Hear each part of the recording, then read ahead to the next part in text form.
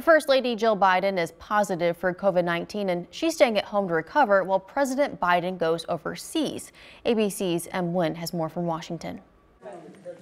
Overnight, First Lady Jill Biden testing positive for COVID a year after she last battled the virus. The White House says the 72 year old is experiencing mild symptoms and will remain at the Biden's home in Delaware. The president, who is not with her, has tested negative. It's good to be almost home.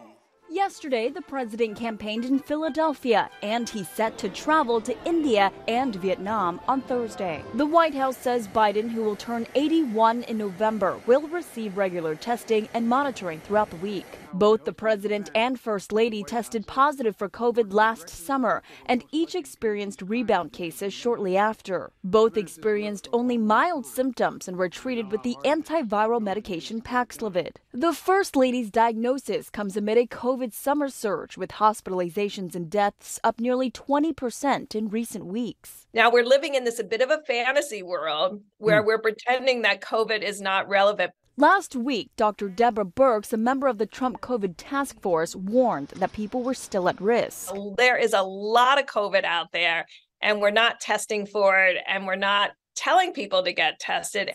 A new round of booster shots is expected later this month, but it's unclear how well they'll protect against a new variant that has been detected in at least five states. And with millions of kids now heading back to school, the surge could grow. Some healthcare facilities in New York and California have reinstated mask mandates as a precaution.